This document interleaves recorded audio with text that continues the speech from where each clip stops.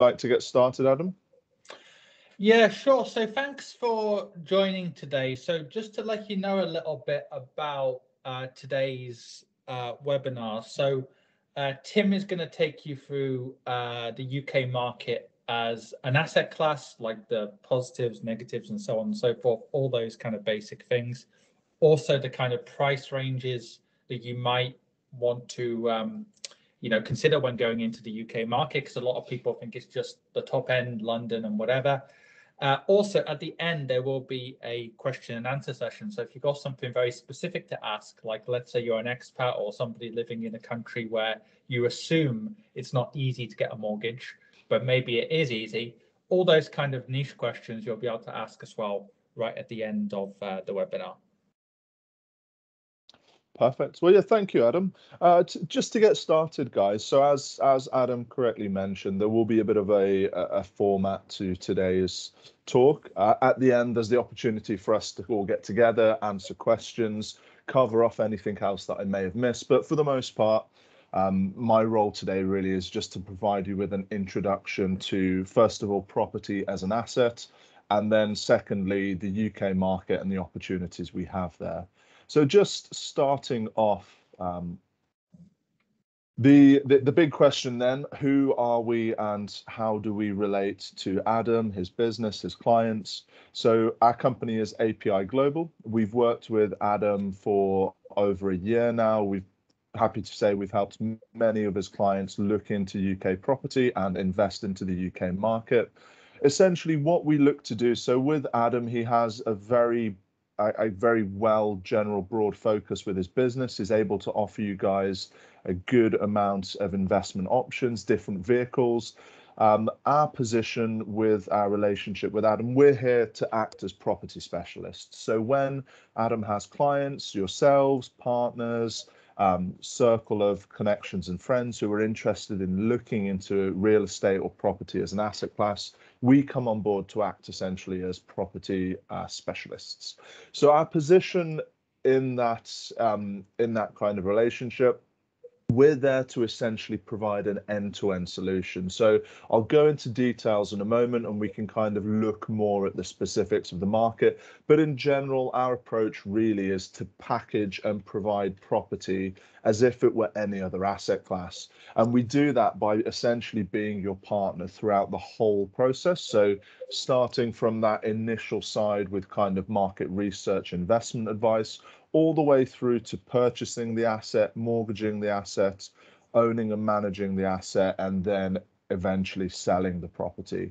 So our position, which I'll go into in a moment, um, this slide actually helps a lot. It just shows the phases that we're all involved with. Essentially, we're there to make real estate an easy to understand and easy to own and manage asset class my position. So I'm based in Asia. I've been working directly with Adam's clients for over a year now. I'm essentially here as an advisor to you. Um, I'm also on the other side of the business there when it comes to finding the correct property and the correct route to market. But essentially, my role is to act almost as a consultant. So looking at what your goals are, be it financial or long term, I'm there to kind of lend assistance and show how property can step in as the suitable option for you. So this is this is something that I'll come on to in a moment, but it, it's just a good starting point. Essentially, a lot of people will be asking at this stage, why use someone like API? Um, how can Adam and his relationship benefit us? A big part of what we do is research led.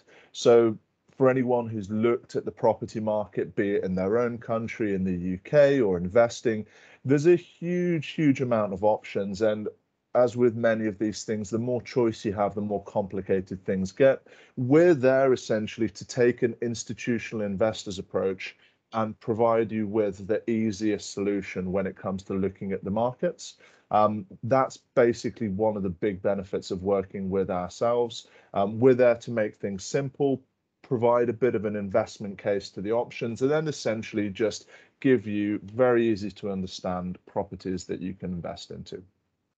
So starting off, just to kind of start quite generally, um, I'm conscious we have quite a few different people on the on the meeting today on the call. Um, there'll be different levels of experience, ranging from completely green, no kind of experience with property in the past, through to those of you who own your own homes in different countries or your current country as an expat, and those of you who already have an investment portfolio.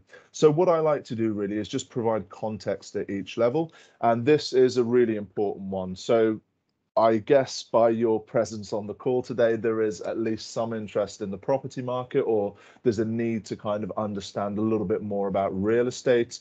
And that's how I like to start, really, just providing a bit of insight as to why it's such a good asset class to be focusing on. Um, you can see here we've got a few points on the screen. When it compares against a lot of other asset classes, when you look at things like stocks, bonds, savings plans, um, futures, options, contracts, all of that kind of the finance investment side that can be simple through to very confusing. Property stands out a lot of the time as a known tangible asset class. At the end of the day, you're investing into an underlying asset. So you're purchasing a property You've got that tangible asset that provides its own versatility. It's somewhere you can use yourself, and or and with yourselves being overseas or away from the actual asset itself, it's good to know that it's there. You can go and view it. You can knock on the door, and you can enter the property. It's a very versatile class as well, so it provides two forms of return. Um, so your investment return comes from things like your yield, which is your annual rental return. So from renting out the property you own each year, it's the passive income that you get from the tenant being in that property. Uh, you also have capital growth, which is arguably the larger one. That's the property price growth. And that's one of the reasons we focus on the UK market because it is such a strong, stable, consistently growing market. As well, a big thing for a lot of us today, and one thing that I think we'll probably spend a lot of our Q&A session talking about. It's the mortgage side. So you're able to leverage property. You can lend up to 75% of the property value. Um, and that's a real big factor for those of us who are looking at building wealth. You can own an asset that's worth X amount simply by contributing 25% in actual capital invested, which is big news and something we'll look at shortly. Again, just looking at it in general. So it's, it's a stable part of your portfolio. So for those of you who already have investments, property is a really good cornerstone to have in your portfolio. It's a low risk asset and it's also a really good hedge against inflation. So next question, the thing that we look at, at the points I mentioned, you could argue apply universally um, around the globe when it comes to different markets. What we want to focus on today is why the UK in particular. I'll get into a bit more detail on this, but just to kind of provide some fast facts, it is a very well known, long established market. Um, UK land and common law has formed the basis for property law in many other Western and developing economies. Um, real institution in the UK with the housing market as well. It's incredibly stable.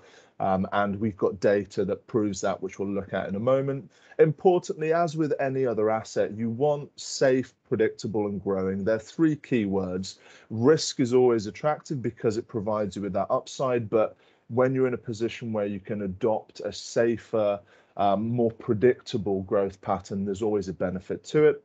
As mentioned just before, so lending options, that's big news.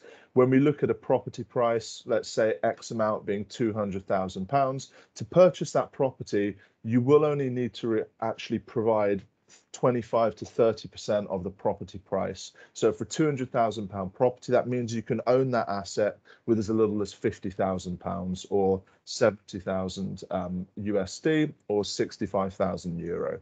So big news there as well the story as well. So, just aside from the general route with the UK, it's important to understand the opportunity there and what's actually happening in the market.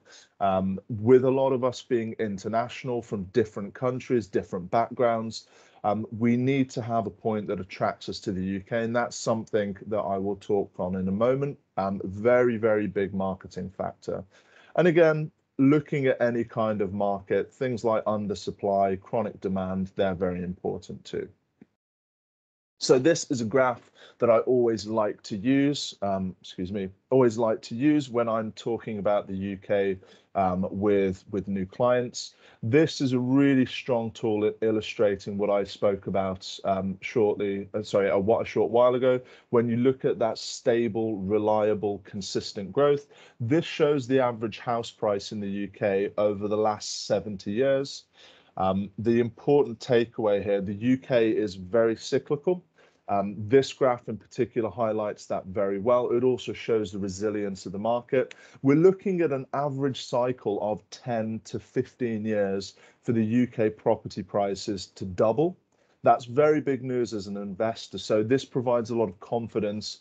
Of course, we always say past performance is not always a, a great indicator of future performance, but in these kind of instances, when you look at a stable market, it really is. Um, here, this illustrates how the average property price has doubled every 10 to 15 years.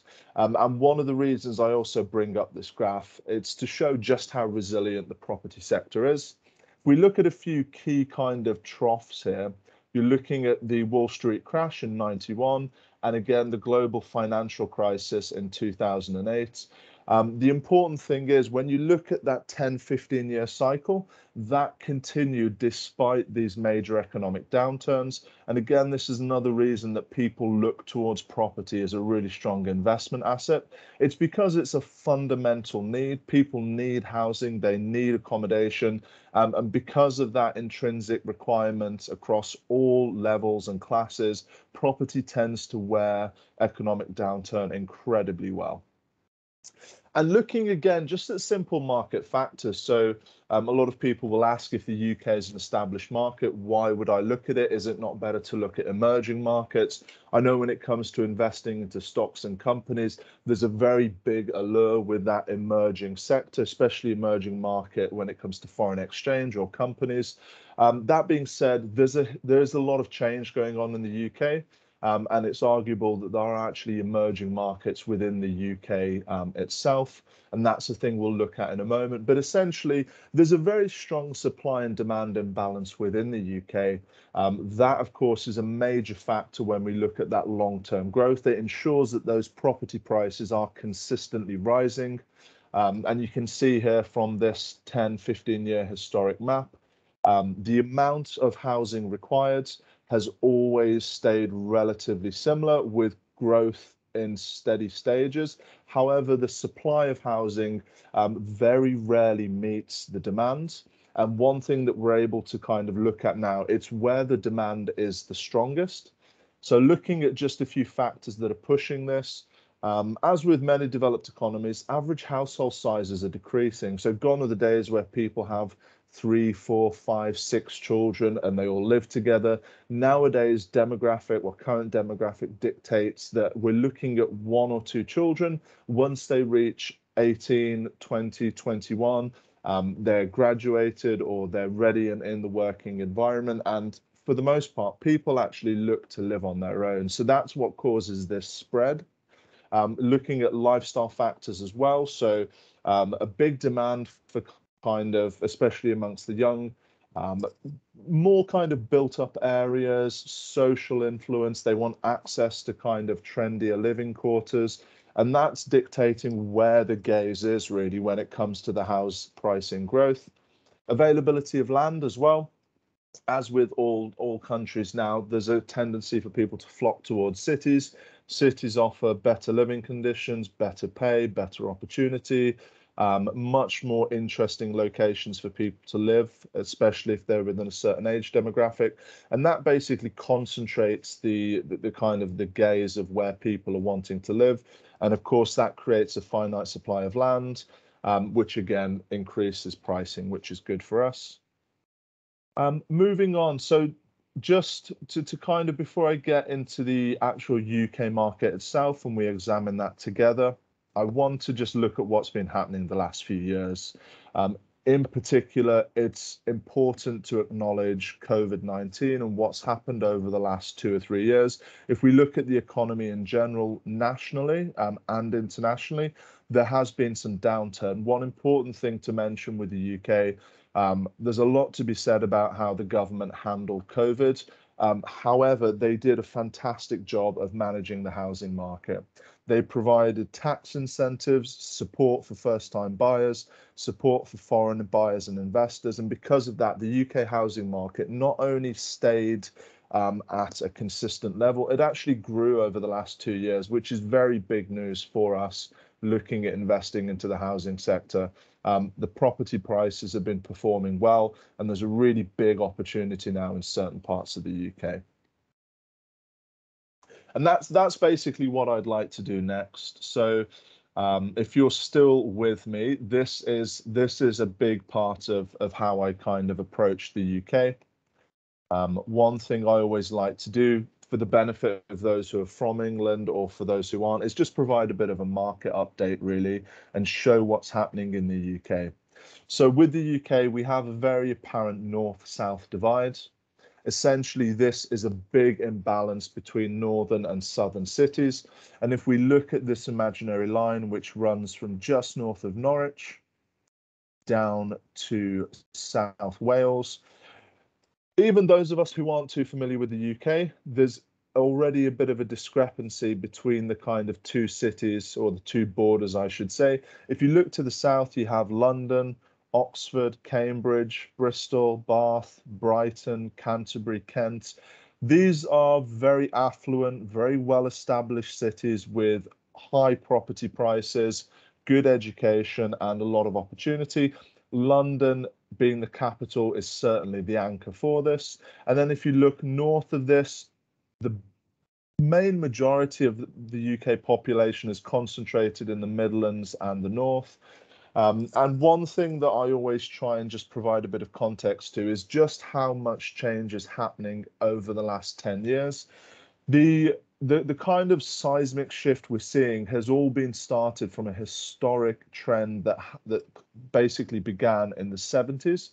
So as with many economies, there's been a lot of change in what sectors make up the majority of the economy. And to understand what's happening in the UK now, I want to kind of take us back to when that change first started. So back in the 70s and early 80s, major parts of the UK economy came from coal mining, car manufacturing, um, heavy factory work and industrial work. And those sectors of the economy, which were a major part of the UK gross domestic product, were located in the Midlands and the North. Things like car manufacturing, coal mining, and heavy industry in particular, they were located in the Midlands and the North. And what happened through uh, basically two main factors. You had Thatcher's Britain, so there was a change in how these industries were viewed how they were, how the workforce was enabled, and what kind of opportunity there was. And importantly, there was a big shift in employment um, in terms of cost of employment. So in the 70s and 80s, over the period of a few years, these important cornerstone industries left the UK. They went in search of cheaper labor, cheaper land, cheaper parts, and a lot of these industries that had been the cornerstone of the Midlands and the North, they essentially disappeared. You were left with high rates of unemployment, a lack of opportunity, um, and basically mass migration started. So people would grow up in these regions, study in these regions in the Midlands and the North. And then there was a strong tendency, which predicated over the following decades, for people to just migrate south. So that's where areas like London and the surrounding regions started to really benefit not only did they have their own populations, but they were now attracting the population in the Midlands and the North. And this created a really strong brain drain effect.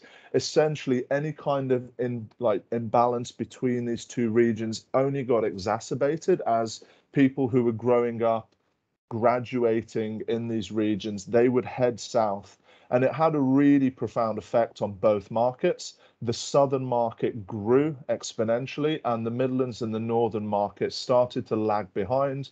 They weren't able to reinvent themselves after this legacy of industry left. Um, basically, that had a really big effect on the UK economy. There was a really big imbalance with London and its surrounding areas vastly outperforming the Midlands, the North, and the rest of the UK.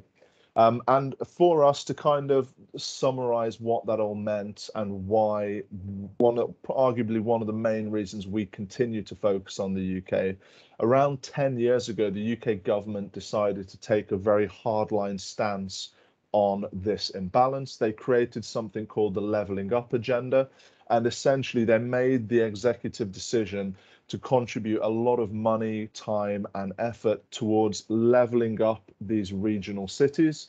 They focused on areas like Birmingham, the Midlands, Manchester, the North, and they wanted to invest and improve the quality of life, opportunity, education in these regions to a point where they'd actually start to compete with London. For reference, the, the amount of time and money they've attributed towards this in, investment and development plan is incredible. Um, between Birmingham and Manchester, their city centre regeneration plans, they sit at around 25 billion pounds and they're looking at a 20 year development plan. At this stage, we're halfway through those development plans. And essentially, the, the, cliff notes are they've been hugely successful in raising the status of these cities these regional economies now, these regional cities, they've exploded over the last 10 years. And we've got major milestones over the next 10, 15 years that ensure this growth will continue. And essentially, that's that's a big part of what API look to do. Um, in coalition with Adam and his clients, we're essentially helping people get strategic access to the fastest growing parts of the UK and we're looking to basically help people piggyback on these national development plans and strategically place themselves within the property sector into an area that's developing, growing in line with these big plans. And that that's basically it, to be honest. That's one of the big things that we focus on. It's served us incredibly well over the last 10 years, um, and it helps us understand where the opportunity and the change will be.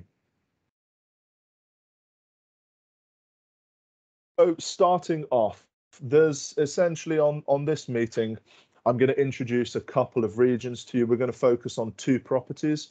But as I've done with many of Adam's clients before, if you are interested in finding out more afterwards, we can talk directly and we can actually have a focus on any particular region or property.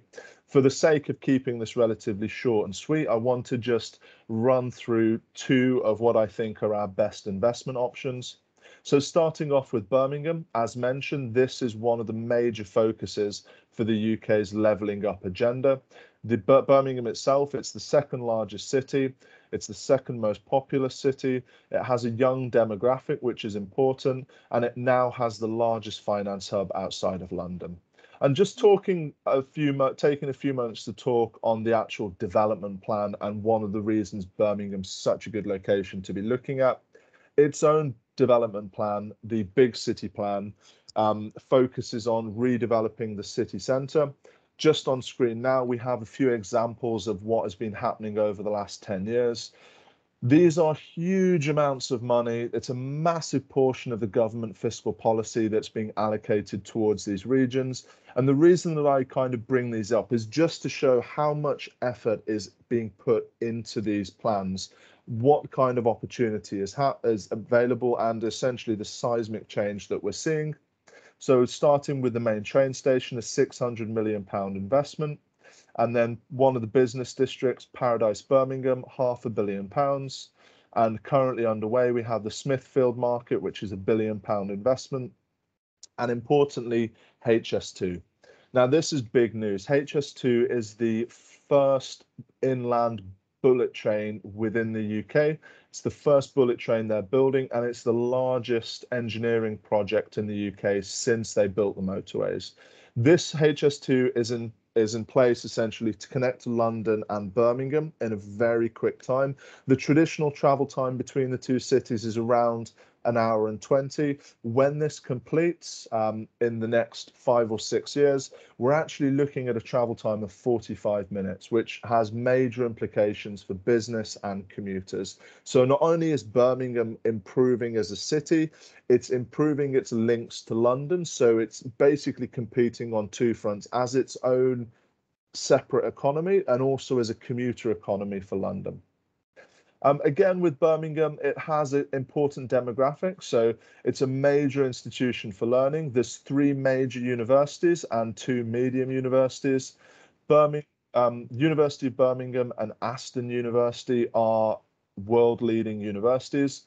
University of Birmingham is known for economics, medicine, and law.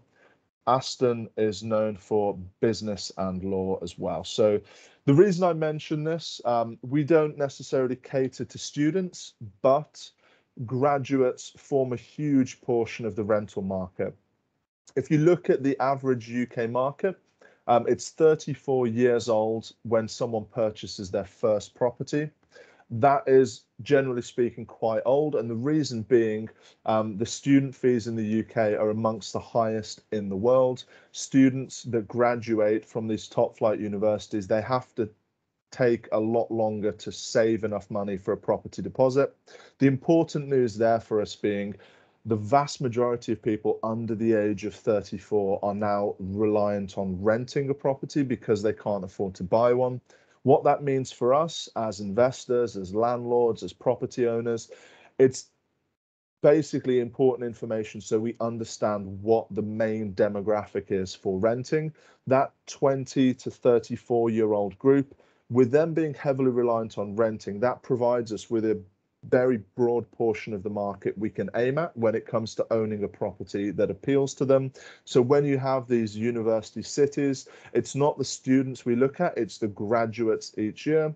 Looking at this, 75,000 students, a third of those are graduating every year. You're looking at around 25,000 graduates, of which the retention rate is 50%. So every year, that's 10, potentially 10 plus thousand people who are entering the market in Birmingham as workers, and they're all reliant on renting a property. So that gives you some idea as to the scope of the property market there. And on that note, I'd like to introduce um, I'd like to introduce our first development. Um, we can cover off questions um, at the end as well. I'm just going to go through this quickly just to provide you a bit of context as to the kind of property we look to offer. Um, but yeah, any questions, feel free to raise your hand at the end.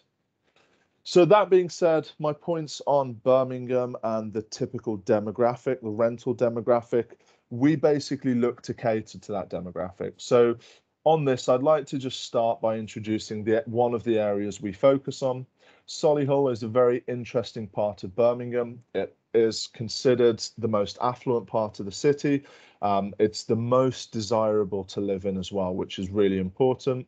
It's very close to one of the high speed stations. Um, it has a nine minute commute time from Solihull to Birmingham city centre and the business district. So it's an incredibly popular location for commuters, which is very important because that's a big portion of the market that we aim at. Um, and looking at this map, this is really important. So Solihull, um, which is where we look, as mentioned, the train line takes nine minutes to get into the city centre. So door to door for this project, it's about a 14 minute commute to get from your front door to the central business district in Birmingham. One thing I like to mention as well is the future of this region. One of the high speed stations, for reference, there's only going to be four bullet train stations on the HS2 line. Two are in London, and one, the third one is here, and the final one is actually in Birmingham city centre. The reason I raised that, Solihull is a very interesting location because there's going to be very quick connectivity to the high speed station. We're talking between three and six minutes, um, either by car, train, or bus. And then once you get there, it's only 38 minutes into central London from the station. So not only does Solihull has fantastic access to Birmingham and the main market we're focusing on, it also provides you with access when it completes to London city centre in around 45 minutes, which is huge. For reference, the average commute time for people living in and around London is 62 minutes. This Solihull location will provide you access to London in 45 minutes when it completes.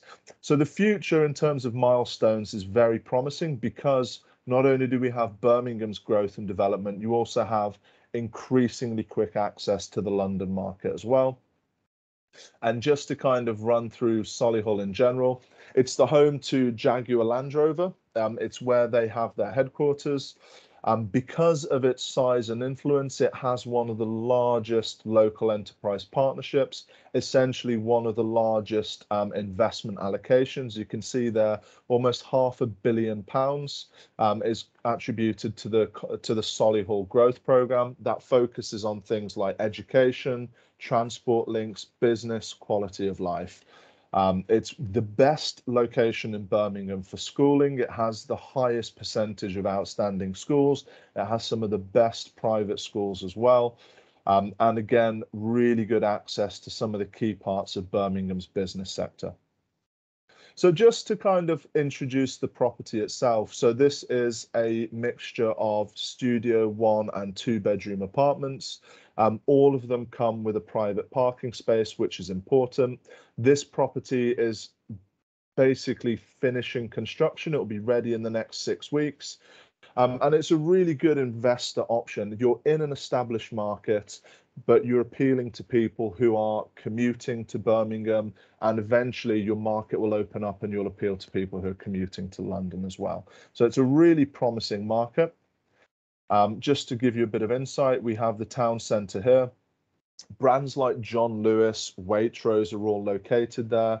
Um, and our development here comes in three phases. This is the phase that we're focusing on.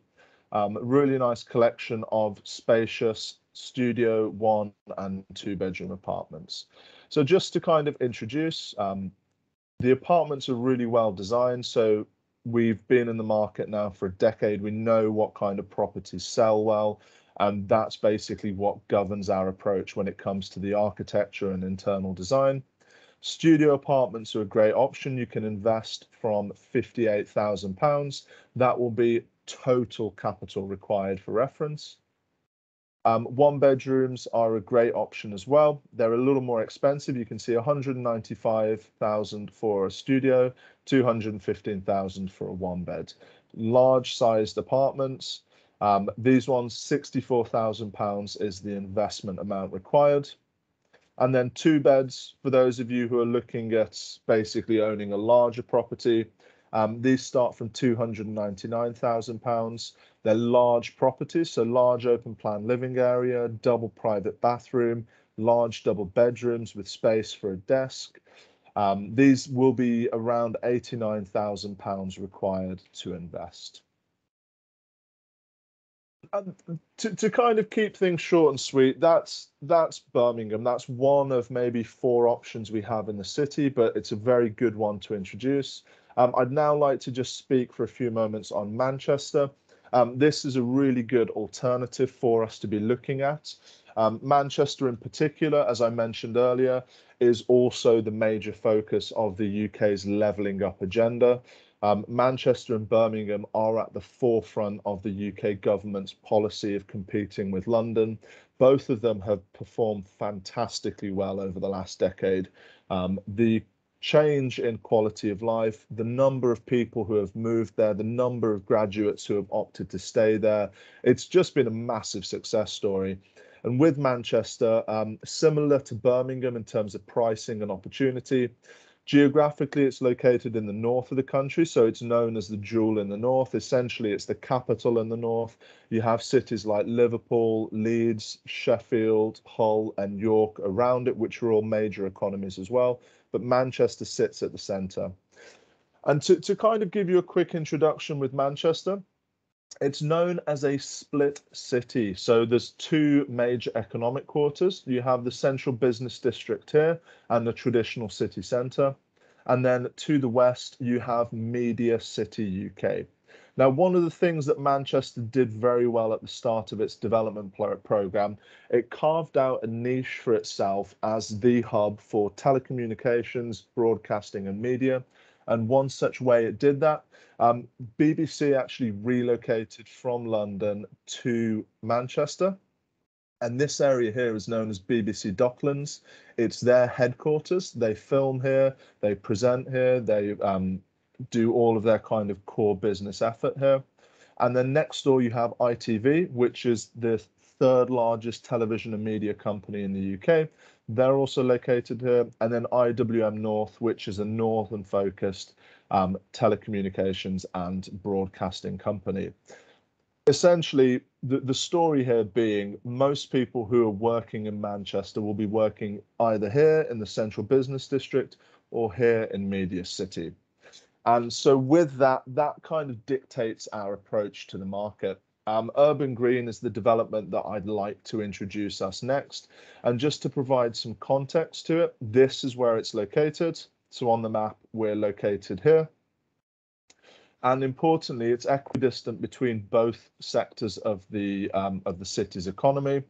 To the cent to the south south I'm sorry to the northeast, you have the central business district, huge brands like Google, Amazon, and PricewaterhouseCoopers located here. And then, as mentioned, you have Media City with a couple of other companies like Bupa and Ericsson there. Now, the reason we've located here, um, if you look at the land use map, this is an incredibly popular place for residential. Um, there's a lot of kind of outdoor amenities, very good shopping, but importantly, there's a very good metro link. So that's this yellow station here. This connects you to the central business district in six minutes via an overground train, which runs every five to 10 minutes. And it also connects you to Media City in around 12 minutes. So with our location here, the city centre is now very expensive given the amount of companies and demand for living there. What we've opted to do is choose a more investor friendly route. So we look at an area that has fantastic connectivity, high quality of life, but importantly, it comes in at a much lower price point. So properties in this region are on average 25% cheaper than they are in the city centre. But given the Metro link, they have the exact same commute time for someone who's living in the city and walking into the actual business district. So with this one, this one is currently under construction, um, Urban Green Manchester. You can see with its location, there's Sky Gardens. So these are communal gardens which face towards the central business district. You can see um, that located here. The apartments are designed again with the end user in mind. So we're looking at providing a very good quality property for yourselves, but importantly, a property that will perform well on the rental market by its loca- by virtue of its location, um, it appeals to a much wider portion of the market. It's a lot more affordable. Um, you can see from design, it still provides a really high-end fit out. So you've got floor-to-ceiling windows. The majority of the apartments face towards the city, which is going to be really big when you look at reselling. Um, and you've also got a co-working lounge private co-working lounge in the building as well. So with things like COVID and flexible working hours, we're looking to cater towards that working sector that will be living in this area. It's a really, really interesting proposition from my perspective. I've worked in both the Birmingham and Manchester market for the last five years. Um, and this kind of property is exactly what I like to work on personally you're purchasing a really strong part of the market, but you're not paying that premium for being located in the middle of the city centre. And looking at this, my pick would be two bedroom properties because it's off plan. So because it's being constructed, the amount of capital you have to invest to legally purchase the property is a lot lower. That's one of the benefits of off plan. You can see here, you can actually purchase a high floor two bedroom property. Um, cost 245,000 but the important bit here the in total investment amount is 55,000 pounds which is really important. Um, and this is just an example. You can see one of the apartments here. So this is a two bedroom on the seventh floor 245,000 pounds. Um, really interesting option. Because of the two bedroom two bathroom nature this will perform really well on resale People are looking for that extra bathroom, so it's a good market factor.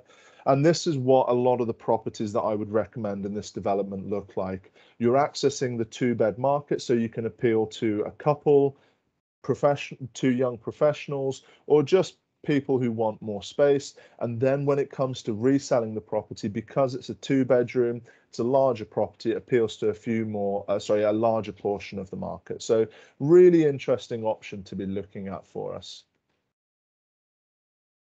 and I'll I'll just skip past this. It just talks on the growth and development of Manchester. Essentially, this area here, which I mentioned, this is one of the next locations for the for Manchester's um, Manchester's big city plan, basically. So the government is contributing a lot of money towards redeveloping this area as well. Just to take us to the closing statements. So of course, we can go over specific questions in a moment, but what I'd like to do is just let you know the typical process. So with these projects, with these properties, um, generally speaking, you can lend up to 75% of the property property value through a loan or through a mortgage. And the payment terms as such, you're looking at it's £5,000 to reserve the apartment. That's part of the purchase price. And then you exchange. So the cash deposit required is either 20 or 25% typically. And then the remaining value is due when the property completes or when your mortgage is ready. On the mortgage note, I will I will focus on this in the Q&A, but as mentioned before, loan va loan values up to 75%. Importantly, there's no requirement for a British passport. Personally, with my business being located in Asia and covering Asia and the Middle East, 80% of my clients aren't British and it's never an issue for mortgaging. UK banks and international banks are very keen on lending to international financially mobile investors, and that benefits everyone quite well. We can purchase through your personal name or through a company name. And essentially, there's a lot of different options with the mortgage we take. So, generally speaking, you'd be surprised in just how hospitable um, the mortgage market is. Again, I won't focus on this too much, but we have a fully comprehensive service. We can assist with managing and the upkeep of the property as well. But these are things that we can focus on should we talk one on one. Just there to let you know that it is a full end to end solution. So every kind of issue or requirement or task you'll encounter, either myself or one of my team members will be there to assist you. So I'll um I'll stop there. Hopefully all of you managed to keep up with that. Been talking for a good 40 minutes. Um, I'd like to open the floor to questions. I'm sure Adam has a few as well. Um, but if you'd like to just basically raise your hand or write in the chat, um, I'll ask Adam or Swen to just read out any questions as they come. Yeah, uh, one question I've had actually, Tim, before the webinar is you know, a lot of expats, well, not a lot, but uh, some expats do actually still have UK PLC companies, not just British people, but our expats. Um, and obviously, some people also, not as many people, but have like trusts, for example, UK trusts or uh, offshore trusts. Um, and a lot of people have heard, of course, that it can be tax advantageous to buy through a PLC company potentially. What's your feelings about buying UK property through a trust or a company structure like a UK PLC company structure? Perfect. So, really good question to be asking. Um, with, with all of us being located overseas, tax is a big consideration. Um, and part of my role, a lot of what Adam will ask of me as well, is that I ensure any kind of purchase or transaction we make is the most tax efficient possible. So with that, essentially, it will come down to the individual clients. Um, mortgages and banks view different people differently, but essentially they are very hospitable. And when it comes to a company structure versus a personal structure, um, the company structure has a lot of tax benefits. I normally recommend a company structure if you're not British because it affords you a lot of the tax benefits that British expats will have simply by holding that British passport.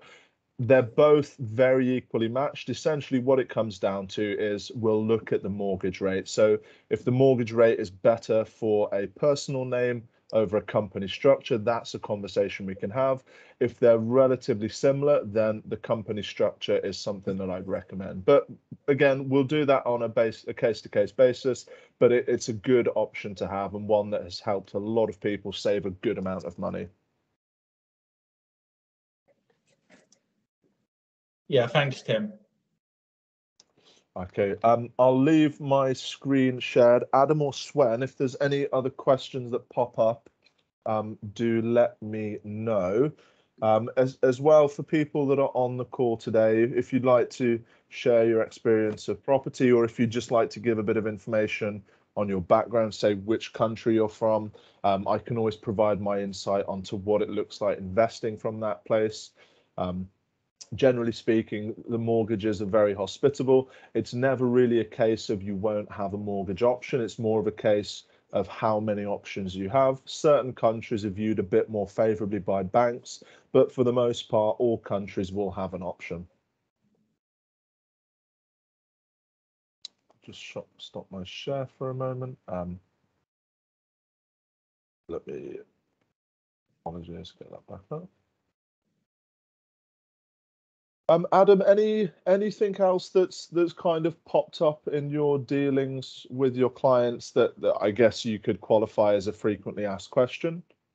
Well, uh, I think the mortgage question gets asked a lot. A lot of people assume if they're in a developing country or poor country, it's harder to get a mortgage. It might be a bit harder, but you know, I think we've yeah, the last person we helped was um, you know uh, in Central Africa, and it was fine, right, to get the, the mortgage. Um, I think another thing is the typical size of the deposit, and also how much the interest rates are approximately. I think those two things come up quite a lot. Obviously, it always varies, right? But just the typical basics on that. Perfect. Yeah. Well, again, good good question to ask. So hopefully, as you saw on my presentation, the important thing is there's a range of investment options when it comes to price point. Um, generally, I say as a golden rule of thumb, the minimum amount to cover all of your associated costs, we're looking at around 50 to 55,000 pounds, um, which sits around the 70,000 US dollar and above mark. Um, apologies if you're working in another currency, um, but th they're the two that we look to focus on. So you're looking at that kind of investment amount, £50,000 and above. Um, how it works with the interest rate. So again, the interest rates will depend slightly on personal circumstances. For the most part, in 99% of my dealings, the goal is that the property rental price will always cover your mortgage and any other associated costs. So, for example, your monthly mortgage, um, it's always covered by the tenant who is renting it. And we do a lot of due diligence and research to ensure that the markets that we're working in are buoyant and stable enough to cover any associated costs, including the mortgage. And basically, what we look to do is, is ensure you're net neutral. So you purchase the asset you contribute your £55,000. And the idea is, in 99% of cases, you'll never have to put another penny or cent into that investment. It will sit there. The mortgage will get paid each month by the tenant. And then essentially, the mortgage amount decreases every year as your tenant chips away and the property price value increases every year in line with the market. So essentially, you're looking at a position where your net monthly income increases each year as rental prices increase and also as your mortgage amount decreases. And then the big picture, as mentioned earlier, is that capital appreciation. So at the same time, your property price is increasing each year. The markets that we work in, so Manchester and Birmingham, for example, they're not our only markets, but they're two of our key markets. You're looking at an average capital appreciation of around between 4 and 6% each year. Historically, over the last half decade, both cities have outperformed that. But to be a bit more realistic, you're looking at around a 5% property price increase what I've said and, and those numbers, they kind of dictate what you'd expect. The longer you hold the asset, the better it performs. With the UK, as I mentioned as well, you're looking at a 10 to 15 year cycle for the average property price to double. And that's really where the leverage model starts to turn a lot of heads. Um, if you can hold that property for 12, 15 years, generally speaking, the property is doubled in value, but the amount that you've contributed towards that investment always stays the same. So initially, you're looking at, say, a £200,000 property, a £50,000 investment over 15 years, that doubles, but your capital investment always stays the same. So when you come to exit the property and sell it, your £50,000 investment is now worth anywhere up to £400,000 from 40 sorry from 12 from 12 to 15 years later. And that really to just kind of drive it home that's a big reason that people look at property. It's an asset you can invest in. You can leave it there as a cornerstone of your portfolio. And then 10 15 20 years down the line you're in a position where you've got a massive lump sum asset and you can do with that what you will. A lot of people once they've paid off the mortgage they choose to just have that property there to provide them with a with a monthly income. Others choose to sell the property draw down and you've now got now got a big pension fund that you can do with uh, do what you what you wish with. Um, I think I think we, we've covered a good amount. Um, I'm conscious I've spoken at all of you for a long time, so feel free to follow up with Adam afterwards if there's any questions or any points that you'd like recovered. We have recorded this presentation, so for those of you that have just joined recently, or for those of you who I, who I guess aren't here and aren't listening to me, um, we can get a recording out to you as well. Um, but generally speaking, the next steps are whatever you'd like them to be. Um, ideally, the best way of kind of proceeding is to schedule a call with Adam and myself, and we can give a bit more of a tailored approach to the investing side. Um, alternatively, for those of you who are still a bit on the fence, feel free to reach out to Adam with your questions or information you need. We can converse over email um, and proceed that way. Um, any anything else you'd like to add, Adam, or any closing statements before we before we part ways?